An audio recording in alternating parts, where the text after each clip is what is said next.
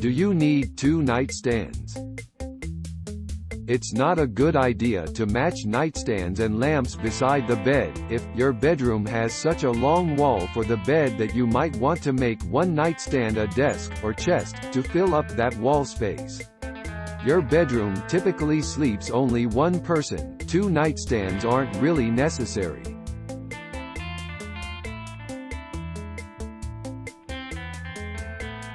Thanks for watching.